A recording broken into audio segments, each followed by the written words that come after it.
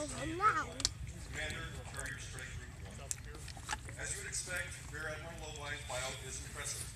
A 1985 graduate